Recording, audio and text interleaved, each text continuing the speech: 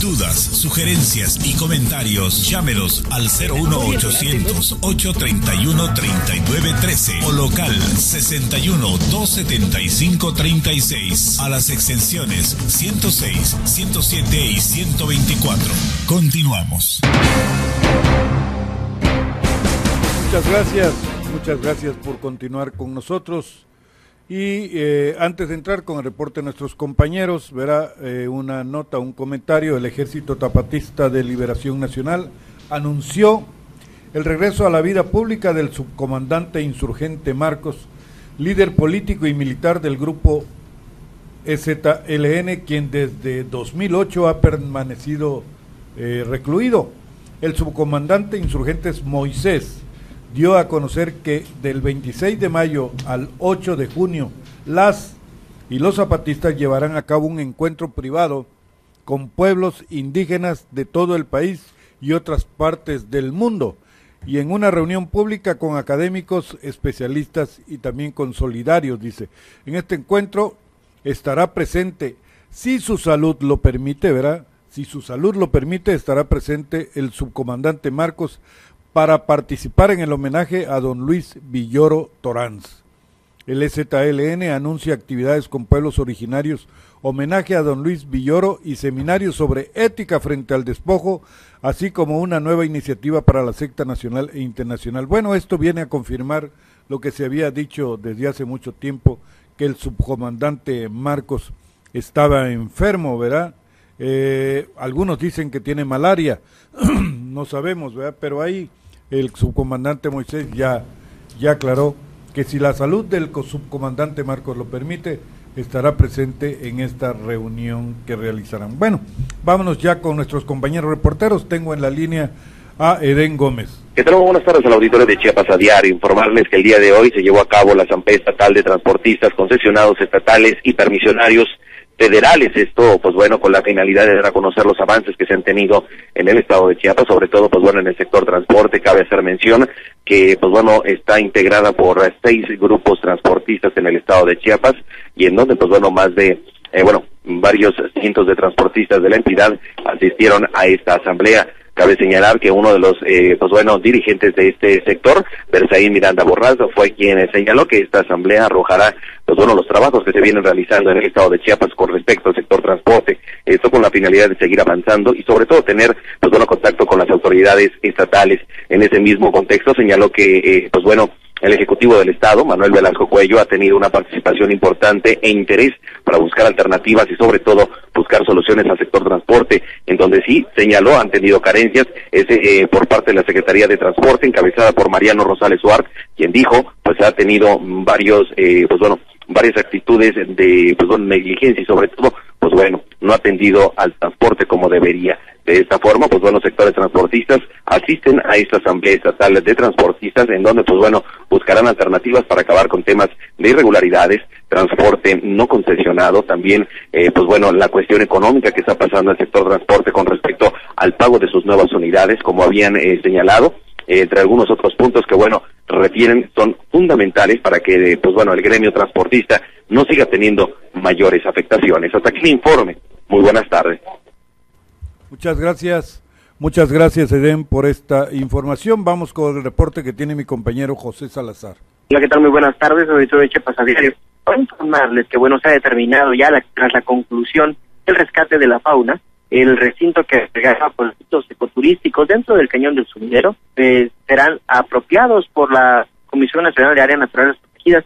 En entrevista con su director, Emilio Sebadúa Arba, dijo que ya se están haciendo todos los trámites ¿eh? para que la CONAM tome posesión del recinto y además de un presupuesto que se define para que este sea un centro de investigación de alta importancia con la finalidad de conservar y atacar cada uno de los problemas que se han surgido dentro del Parque Nacional y con ello, bueno, actualmente se tiene la problemática de la, pues, la interrupción de la fuente que, alimentaba al conocido árbol de Navidad, así como de, a la atención a los saqueos que, que hacen las personas de, los cocodrilos, eh, la, casa, colectiva que se tienen por parte de algunas personas que utilizan entradas y salidas en algunas colonias populares como la Patria Nueva eh, para ingresar al cañón y bueno, ya con eso se pretende hacer que ese centro de investigación también funcione como un centro de monitoreo y control para terminar con la problemática. Esa es mi información hasta el momento. Buenas tardes.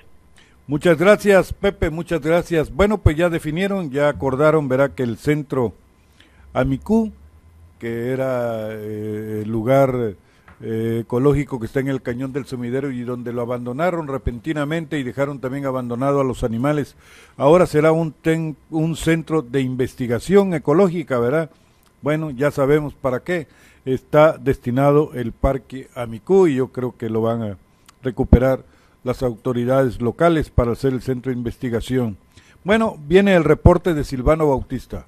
Auditorio de Chiapas a Diario, muy buenas tardes. Ahí en cabina, un saludo como siempre. Luego de dar a conocer la cancelación de la visita a Chiapas del jefe de gobierno del Distrito Federal, Marcelo Ebrard, que se tenía prevista para este 4 de abril, sus representantes en la entidad anunciaron que al mismo tiempo se da inicio a una campaña estatal en defensa de este. Víctor Manuel Pérez López, quien es coordinador en Chiapas del denominado Movimiento Progresista y que, eh, y que representa a Marcelo Ebrard en la entidad, anunció pues la puesta en marcha de la campaña denominada No te subas a su tren y que tiene como objetivo pues la defensa del ex jefe de gobierno del Distrito Federal por considerar que la serie de ataques e infundios en su contra tienen toda la intención de descarrilar su candidatura a la presidencia de la República para las elecciones del 2018. Víctor Manuel Pérez López, quien es representante de Marcelo Obrador en la entidad, explicó que a partir de este día arrancó en todo el territorio nacional, incluyendo Chiapas, obviamente, eh, la campaña denominada No te subas a su tren, por medio de la cual se dan a conocer todos los detalles técnicos con los cuales asegura se deja de manifiesto de que la línea 12 del metro del Distrito Federal opera opera y operaba con, normalidad y que todos eh, los ataques en su contra obedecen a cuestiones de intereses políticos por parte del gobierno federal y de la dirigencia nacional de su partido que encabeza Jesús Zambrano. Finalmente dio a conocer que hasta el momento no se tiene ninguna fecha reprogramada para la visita de Marcelo Ebrard a la entidad. Chiapas a diario, Silvano Bautista. Muchas gracias, muchas gracias Silvano. Vamos con el reporte de Perlas y Baja. ¿Qué tal? buenas tardes. Saludo con agrado al auditorio de Chiapas a diario y a todos en cabina. Les comento en esta ocasión que con el inicio de la Ingeniería en Tecnologías de Manufactura y la Maestría en Biotecnología, la Universidad Politécnica de Chiapas abrió su convocatoria de nuevo ingreso para este ciclo escolar a través de sus programas de estudios acreditados por instituciones de calidad. La UP Chiapas ofrece para este año siete ingenierías, las cuales son mecatrónica, energía agroindustrial, desarrollo de software, biomédica, tecnología ambiental y la nueva en tecnologías de manufactura, así como las maestrías en energía renovable y el nuevo plan curricular en biotecnología. Me al momento para Chiapas a diario, Perlas y. Muchas gracias, Perlita, por esta información. Vamos con el reporte de Adriana Fernández. ¿Qué tal? Muy buenas tardes, auditorio de Chiapas a diario, para informarles que casi un año de que tocará tierra el huracán Bárbara, categoría 1, los restauranteros de la zona que fueron afectados ya se recuperan. Indicaron que ellos Em, en una entrevista dijeron que ellos ya están listos para recibir a clientes a la previa de la Semana Santa y es que los, los compañeros que quedaron casi sin nada ya recuperaran sus palapas porque también hubo un préstamo de gobierno, dijeron que casi les dieron 30 mil pesos a cada uno. Ese dinero no va a ser recuperado, pero sin rédito de parte del gobierno, dijo Cornelio Mendoza García, propietario de un restaurante en Pesquería La Gloria. Y es que dos meses de que se cumpla un año de este huracán, que este huracán pasara por la costa de Chiapas, los, los restauranteros también sufrieron la baja en turismo con el paro magisterial que duró tres meses. Y es que en esta entrevista dijeron que tuvieron una crisis atrasada y con eso el paro de los maestros, a pesar de que quedaron molados, no vendieron nada, no, no venía, no llegaba la gente a esos, a, esos lugares, pero ahora eh, dijeron pues estar ya listos para Semana Santa y para todos estos, estos y para recibir a todos estos vacacionistas que en los próximos días estarán llegando al, a las costas chiapanecas. Este momento es mi reporte para Chiapas a Diario. Adriana Fernández. Gracias, Adrianita. Bueno, pues qué buena noticia con la llegada de, de muchos, de muchos turistas o de muchos visitantes, que es lo mismo a nuestra ciudad, dicen los restauranteros que se van a recuperar, ¿verdad? Eh, ojalá, ojalá y también se preocupen por dar una calidad turística buena, ¿verdad? Una calidad en los servicios porque ese es otro problema también, ¿verdad? Eh, que hay veces están pésima atención y por eso simple y sencillamente se retira la gente, ¿verdad? Bueno, pues sí que bueno, se va a recuperar el sector restauranteros en esta temporada vacacional, pero también le sugerimos que ojalá y eleven también eleven también la calidad de sus servicios. Vamos con el reporte Francisco Mendoza. Eh, Francisco, buenas tardes. Hola, ¿qué tal? Muy buenas tardes eh, a toda la mesa de redacción de Chepas a Diario. Le comento que eh, estuvimos platicando el día de hoy con el secretario de Economía en el Estado, el eh, Cortázar Ramos, y comentó eh, en el sentido de que es preciso trabajar en conjunto con los empresarios chiapanecos para que se siga un mismo sentido, un mismo rubro. Dijo que están considerándose la creación de un consejo económico en donde los empresarios podrán externar opiniones para que se tengan en cuenta las ideas de los generadores de la economía en el Estado. El funcionario estatal explicó que este consejo está aprobado por el Congreso del Estado, por lo que es un hecho la realización y buscará que los empresarios externen sus dudas y puedan realizar aportaciones de ideas para el crecimiento de Chiapas. Vamos a escuchar un poco lo que comentó. Importante, pues, el Consejo Económico es una, un órgano de consulta y de opinión que prevé la Ley de Desarrollo Económico y Atracción de Inversiones que publicara recientemente el señor gobernador Manuel Velasco. Él, dentro de sus líneas estratégicas, de su plan de desarrollo, está juntamente eh, acercarse o democratizar las decisiones públicas del Estado.